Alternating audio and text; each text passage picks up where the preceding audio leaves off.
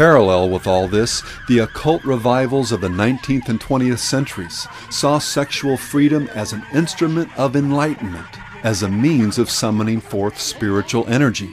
For Havelock Ellis, Margaret Sanger, William Reich, P.D. Ouspensky, and Aleister Crowley, among many others, sex magic, what the Hindus referred to as wakening the serpent, became an essential part of the new post Christian world they were looking to create.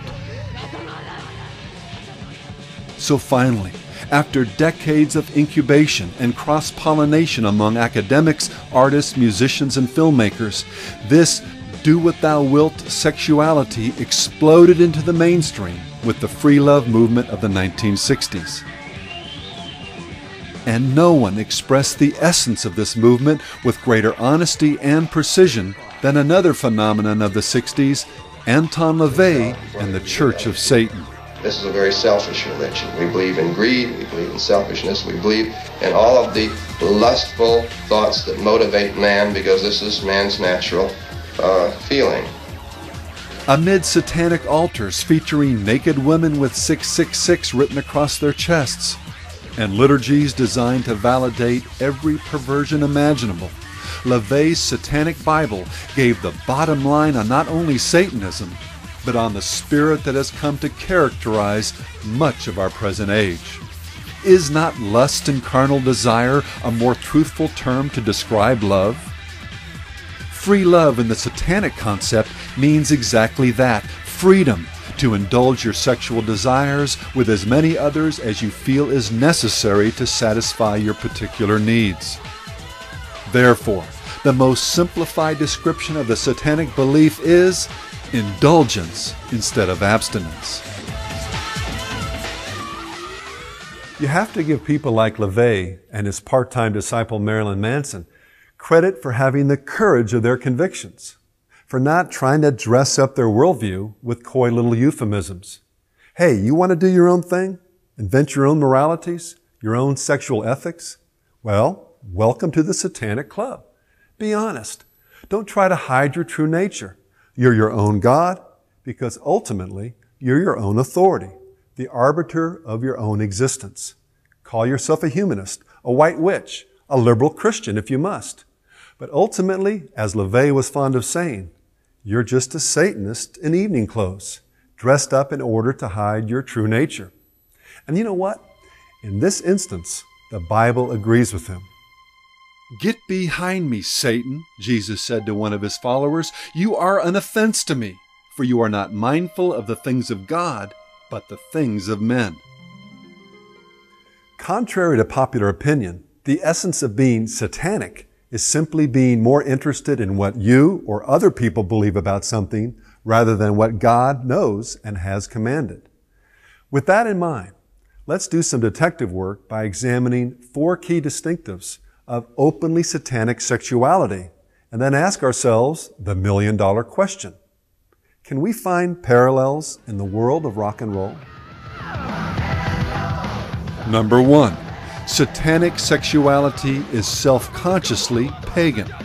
It seeks to subvert Christianity and its message of moral virtue and self control by deliberate acts of sensual abandon, often coupled with sacrilege.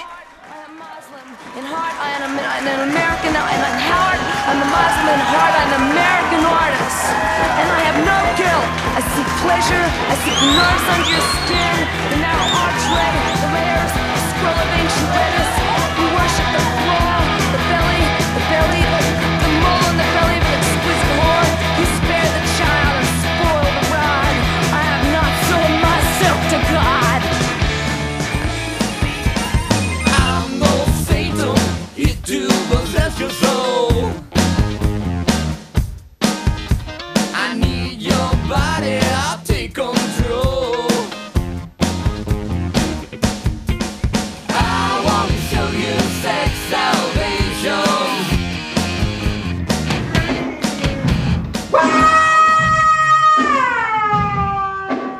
Incredibly, the Red Hot Chili Peppers ramped this celebration of dark satanic sexuality up even another notch on their best selling album, aptly entitled Blood Sugar Sex Magik.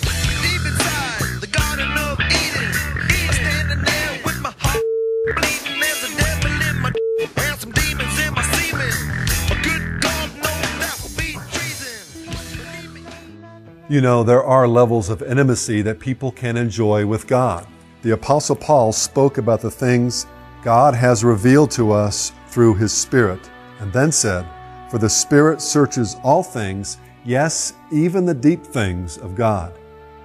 Man's chief end, whether we want to own up to it or not, is to know God more and more, to grow in grace and in holiness, to experience something of the deep things of God's Spirit. In precisely the same way, however, there are levels of satanic intimacy, varying depths to which the carnal mind can descend.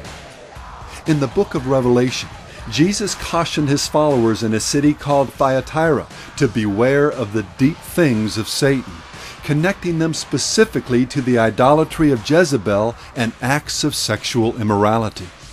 Scholars tell us that this evil involved ritual prostitution and precisely the type of satanic sexuality celebrated in this song by the Chili Peppers. These lyrics touch on, quote, the deep things of Satan and should give anyone with even a smoldering ember of conscience a sense of the depths to which our culture has fallen. And by the way, this is not just to single out or condemn the Chili Peppers. No doubt they were to some degree clueless as to the line that was being crossed when they composed that song. The culture of rock and roll had taught them, and countless others, that perversion, and especially sacrilegious perversion, was somehow revolutionary or profound. It had been drummed into their heads that it was cool to use drugs in order to achieve altered states of consciousness, and then to let the songs rise up like sparks from a fire of some primeval furnace. This same spirit can also be seen in the manner in which many musicians view rock as, quite literally, a celebration of pagan sexuality. From the Grateful Dead to their heir apparent Phish, with dozens of bands in between, Nietzsche's call for a Dionysian revolt through music is heard time and again. Consider, for example, the words of Ray Manzarek, keyboardist and co founder of The Doors, as he described his teenage introduction to the dark mysteries of rock and roll while listening to the blues. It was incredible, the most dangerous singing and the most evil implications. The top of my head rose up, Kundalini uncoiled and sent shivers up my spine.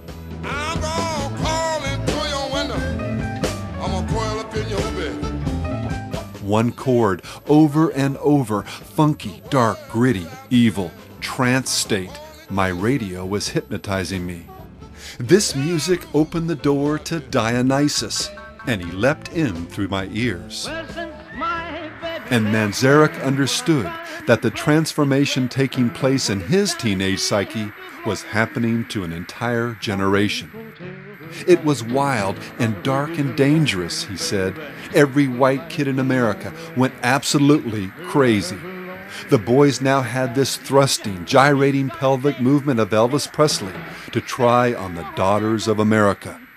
We went mad.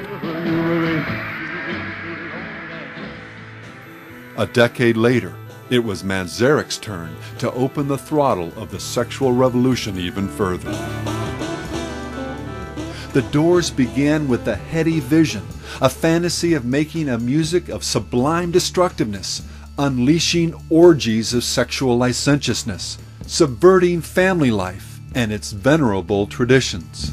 Father, yes, son. I want to kill you. Exploring the most savage natural instincts in songs that celebrated that horrible mixture of sensuality and cruelty. Mother. I want to.